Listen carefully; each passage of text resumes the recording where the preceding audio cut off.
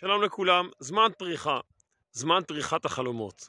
החלומות מתחילים עכשיו להתגשם, עדיין לא פרי, אבל באמת היה שום דבר ופתאום הכל התעורר לחיים. כך גם מציאת מצרים.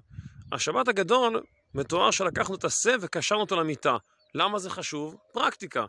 רואים בהמשך במסכת כלים שגם בהמשך היו לוקחים חבל וקושרים את, קורבן פסח למיטה, גם בהמשך.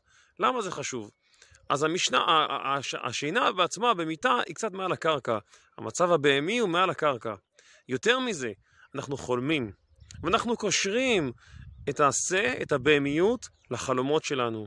אנחנו לא נותנים לו להסתובב חופשי. הכוחות הבהמיים שבתוכנו, גם אותם אנחנו קושרים לחלום, אנחנו גם קושרים בתוך, מתוך כך את כל הכוחות הבהמיים בעולם לחלום, לחירות, יוצאים מהשעבוד של הבהמיות, של האלימות, של חוסר המשמעות, ולכן שבת הגדול זה ההתחלה.